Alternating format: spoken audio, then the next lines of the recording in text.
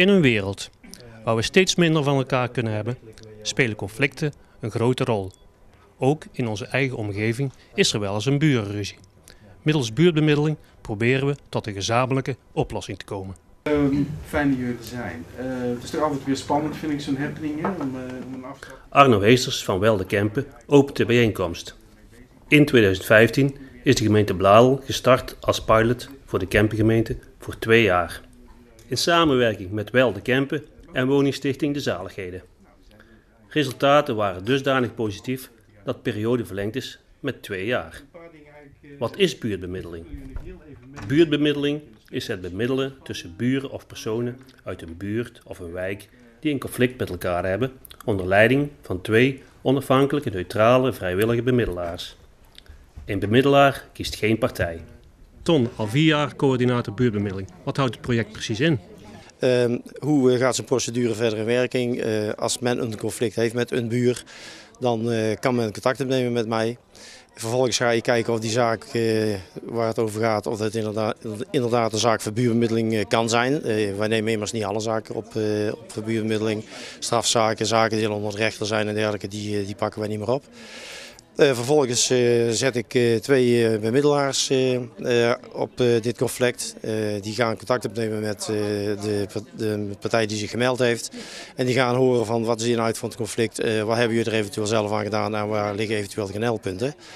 Vervolgens gaan de twee bemiddelaars eh, naar eh, de andere partij.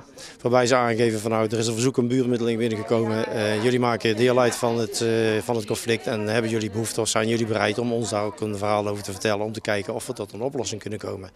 Nou, in de meeste gevallen zijn de andere partijen, zijn die andere partijen inderdaad wel, die hebben ook een, een, een rol in het conflict en die willen hun verhaal dikwijls ook wel kwijt.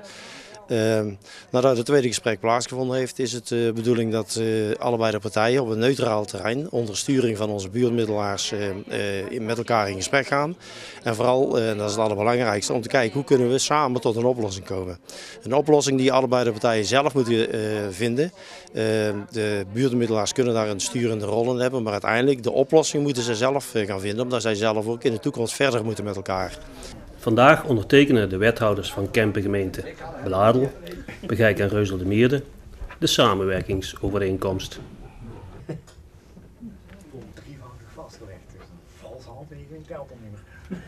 De gemeente Oorschot en Eersel kijken de kat nog even uit de boom, maar kunnen later alsnog aansluiten.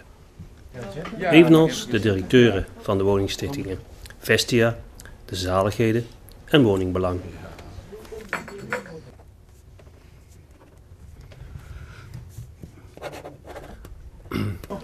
Arno Heesters van Welde Kempen tekent als initiatiefnemer ook. Arno, wat is het belang van de stichting Wel Welzijn de Kempen in het project Buurbemiddeling? De naam zegt het al, het welzijn van de mensen. En uh, als je kijkt naar buurbemiddeling, dan uh, zetten wij vrijwillige buurbemiddelaars uh, in. En ja, we hebben natuurlijk een organisatie met 350 vrijwilligers. En uh, bij uitstek natuurlijk ook een organisatie die geschikt is om dit soort initiatieven uh, eigenlijk op zich te nemen en ook, ook uit te dragen. Dus vandaar dat het denk ik heel goed is om dat bij Stichting Wel onder te brengen.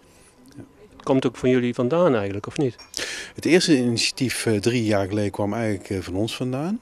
En wij hebben het toen uh, eigenlijk met de gemeentes besproken en de gemeente Bladel en de woningstichting De Zaligheden. Die voelden er toen heel veel voor om met het initiatief te gaan starten. Dus we zijn met, met Bladel en de, en de Zaligheden zijn we dat initiatief opgestart in de gemeente Bladel. Maarten, wat is het belang voor de gemeente Reuzel voor, van buurtbemiddeling?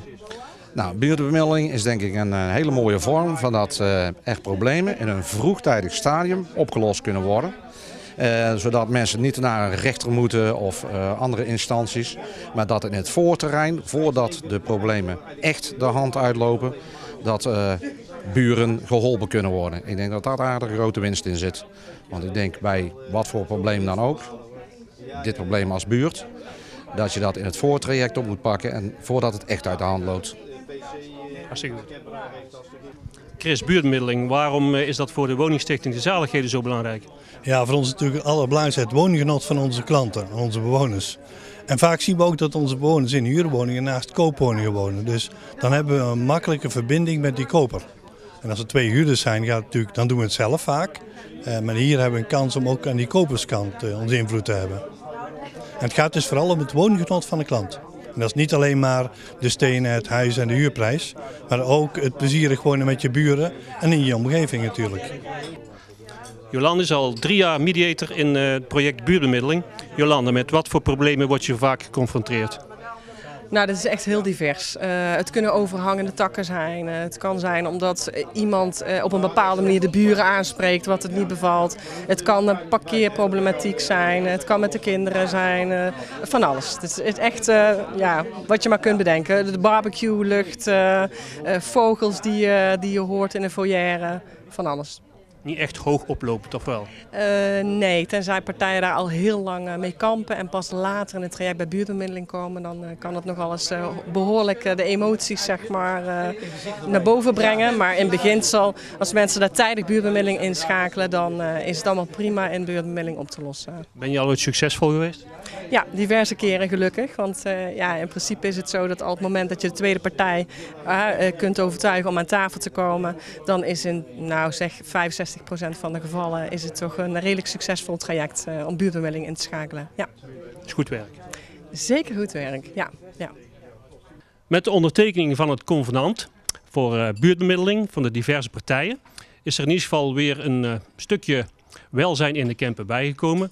En als er een conflict is, kunt u zich melden bij de stichting Wel de Kempen om een conflict bijvoorbeeld van tevoren al op te lossen.